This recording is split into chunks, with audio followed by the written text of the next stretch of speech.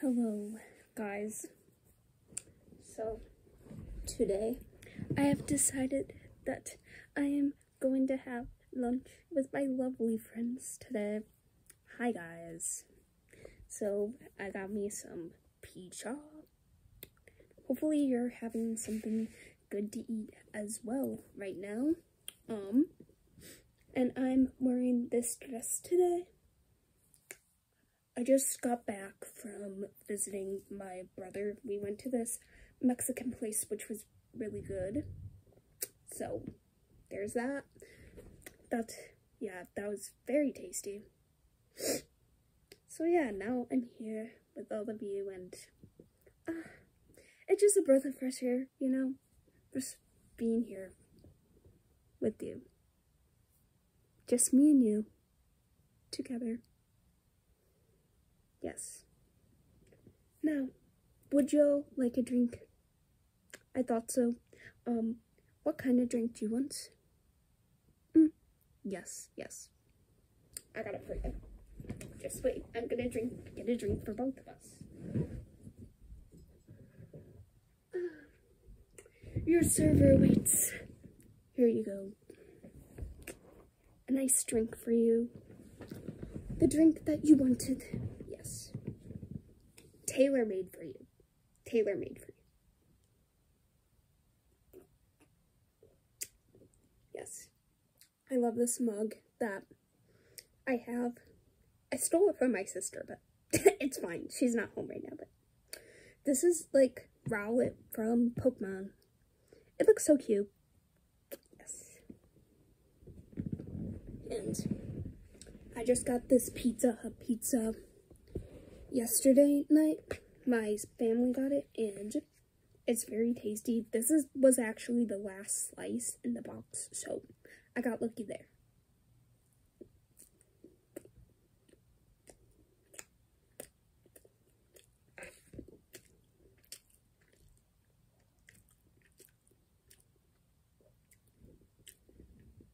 See, as good as ever. As good as ever. I I decided to put on this ring today. Actually, I think tea about it was that my brother, one of my brothers, my older brother, I think, because I have so many siblings, but yeah. Basically, I think my older brother, he got this ring, I think, for his college girlfriend or something, and then she rejected him, which is very sad, you know? But now I'm wearing it, so it was in like this one coin jar or something, and I'm pretty sure my mom told me the whole lore behind it, but you know, my mom's a little dramatic like that, but it okay, it okay. I'm a little dramatic too, but I just, I usually don't like getting into people's business, but I mean, if I hear it, then like, I don't know. It's not like I'm gonna like share stuff or like openly like try to be dramatic, but you know, if, if someone's spilling a little tea, then you know what to say. uh, that's that's so great. But yeah.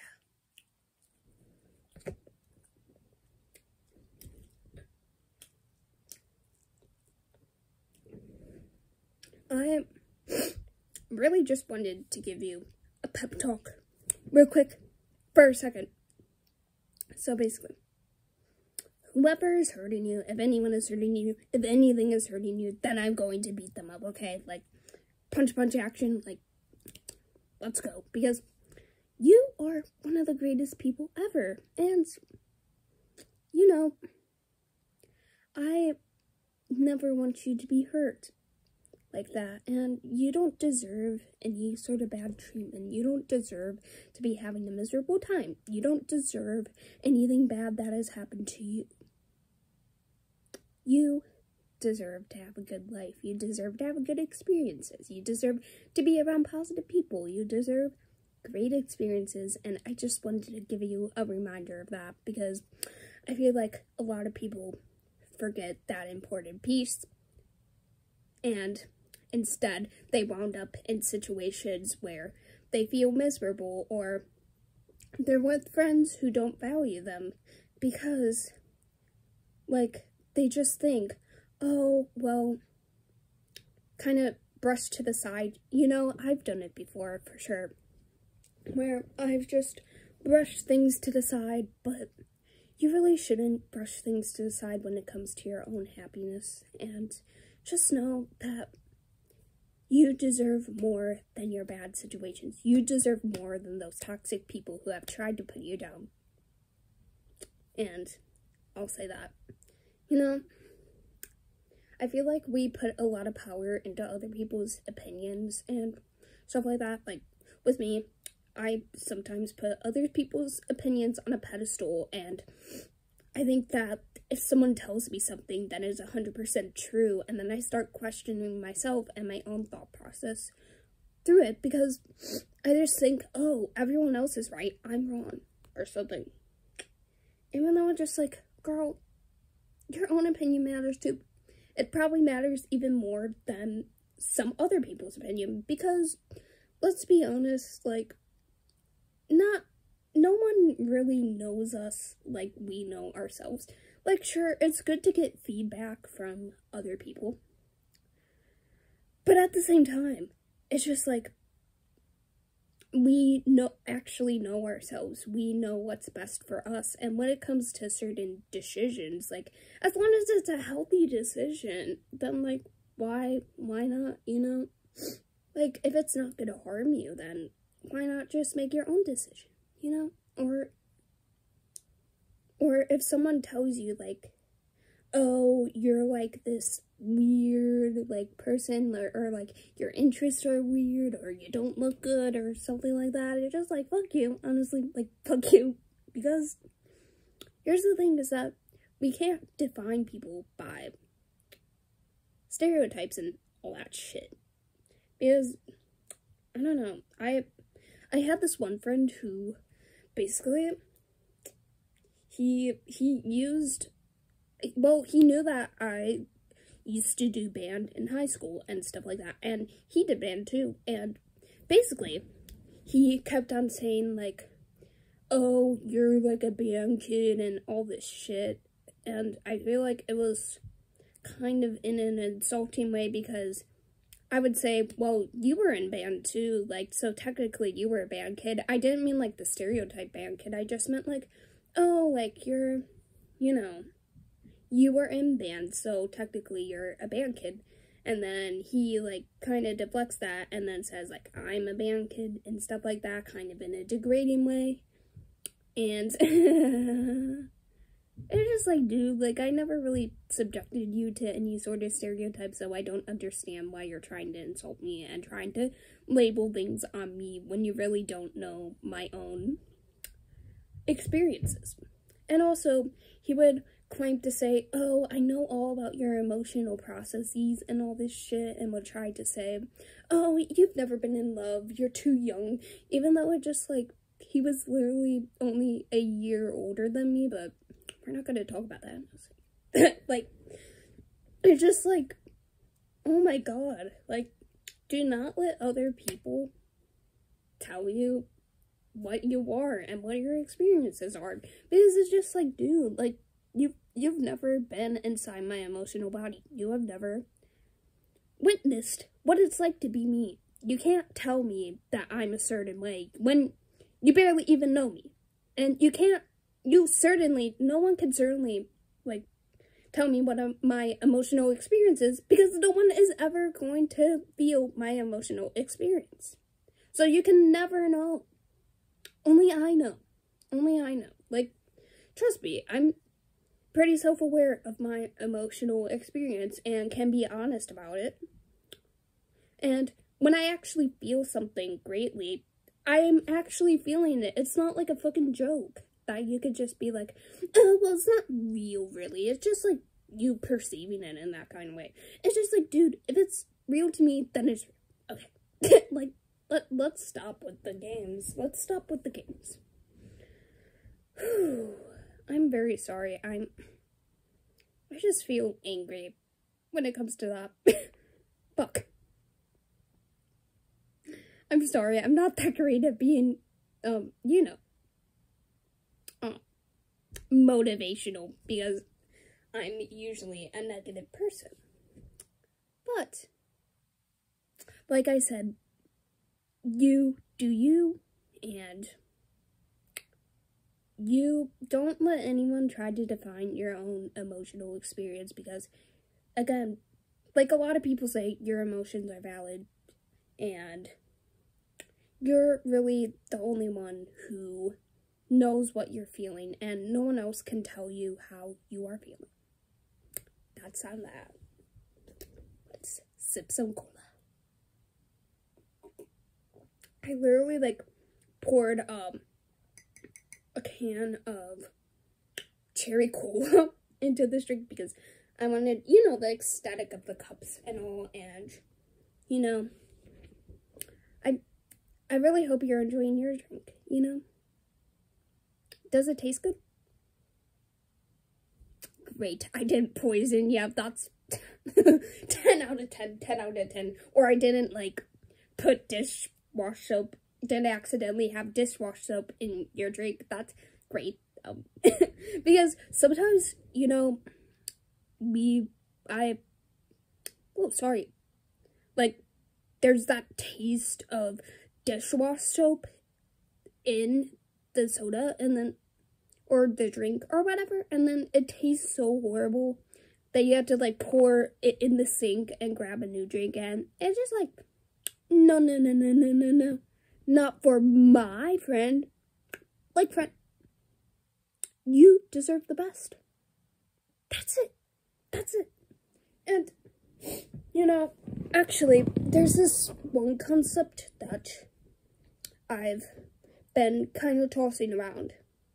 And, you know, I get like kind of self improvement and how, like, oh, well, you are here right now. And sure, you're good, but you want to get to here, and this is like a higher version, and it takes a journey to get there. Oh, here's the thing though people can feel unmotivated because they feel like, oh, well, I'm not this person yet. So, like, I feel like I'll never be because I'm just this person. And, you know, it's just like, if you. Here's the thing I think we should shift the mindset from, you know, gradually trying to get there, which I get it, you know it takes smaller habits in order to get where you want to be. But at the same time, I feel like we should act as if we already are that person. We should be like, yes, I am confident. Yes, I am. I do have this certain job. Yes, I I am like I am this accepting, lovable human being because you are, you are, okay? You are. Like, it's, it's already in you. You don't understand, like, everything that you want to be is already in you. So you already are what you want to be. If you get what I mean. if you get what I mean, I think that rhymed. I don't know. I don't know. It just some kind of I'm saying? But yeah, like you already are who you want to be. There's a piece inside you right now that is who you want to be. And you just gotta tap into that.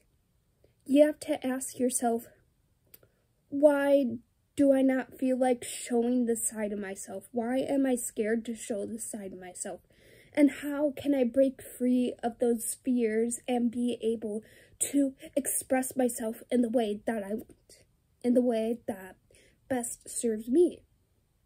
You know, just have to ask the important questions of what what exactly is holding me back. What is the root cause? I I saw this one YouTuber.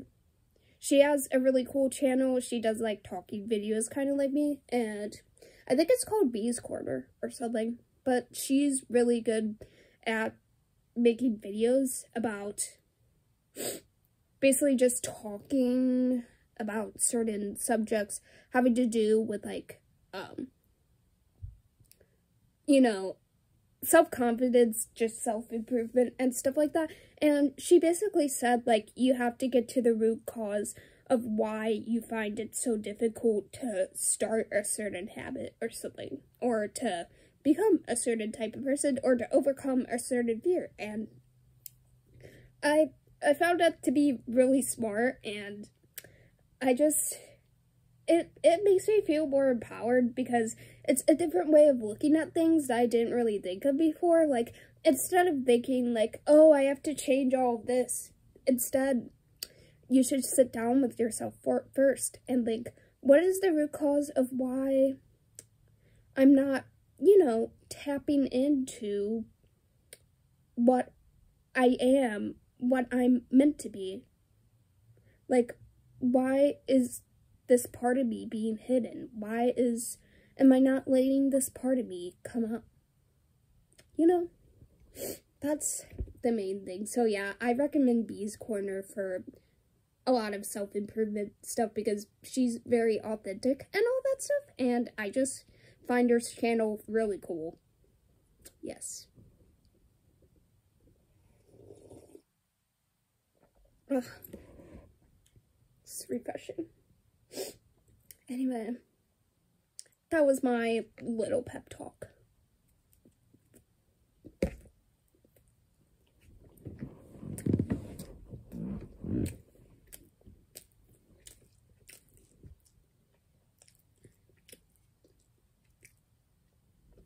Really hope that you got something from that. At least, maybe. I don't. But I don't. I'm just spitting some information out there. You, I'm, I'm not trying to be controlling and trying to make you take this advice, but it's good advice that I've heard from other people. Anyway, yeah. Yeah. Um.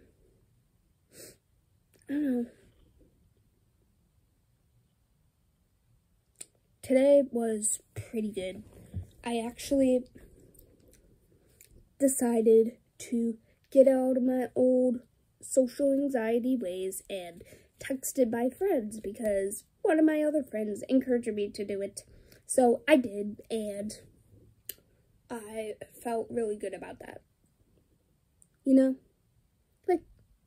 Do you ever just feel so good? Like, you know, um, for example, like with me and you, it feels so nice to be able to interact with you and to be able to just, I don't know, like, be with you and all that stuff. And spend some quality time listening. And I'm petting your hand. okay.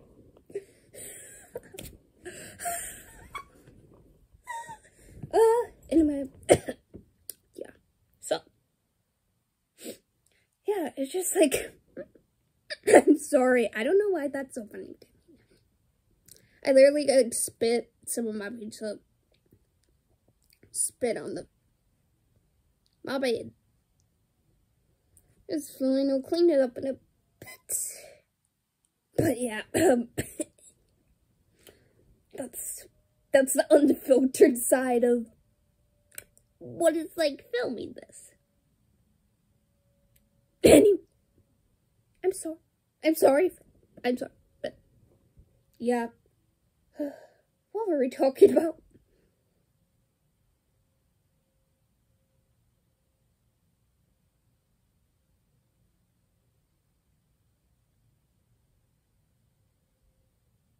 Oh yeah, yeah, about um being happy that I texted my other friends. So yeah it was just really nice being able to text my friends from college because I just really liked being able to see how they were doing and all that jazz and being able to cheer them up if they were, you know, feeling sad about something or anything like that. I really like checking up on my friends.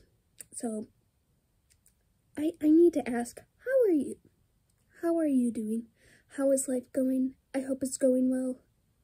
I hope that, you know, everything's settling in. everything will settle in at some point, you know, like even if it feels rough right now, just know that there, you know, there is a glimpse of hope in every day. There is a glimpse of something bigger, something more exciting that's on the horizon. You just gotta let life pan out because life isn't stagnant, which is great. You know, it might feel stagnant at some points. It may feel stagnant for a while, but it's never truly, like, fully stagnant. Everything is always changing. I kind of learned this in a philosophy class, kind of like how all the atoms are changing around us and stuff like that. like, look. It's like that Buddhism, like, um, Buddhist, um, view of, like, nothing is permanent or something like that, like that principle. And yeah, it's that sort of thing where basically nothing is permanent, which is a good and a bad thing. Because death, bad, but positive change. the two ends of the spectrum, the spectrum of life, the spectrum of everything. Kind of. there's there's a lot of spectrums, but yeah. Um but anyway, I'm really glad I got to have lunch with you today. And we should, I hope we get to hang out again sometime, you know? I hope that we could, like, just chill like this again at some point. Maybe. If you want. I mean, if you want. If you want. I'm not pressuring, but been a lot of fun with you, and I hope that you have a really good rest of your day or night or whatever you're doing right now. And I hope that everything pans out alright. Just know that you are going to be okay and that you are amazing. Well, it's nice Gensia. And um, see you next time. Goodbye, friend. I will see you later. Ooh.